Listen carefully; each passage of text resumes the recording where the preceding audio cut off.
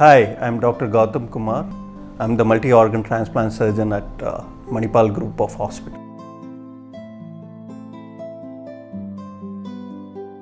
If the pancreas transplant is successful, you will not need any insulin immediately after pancreas transplantation.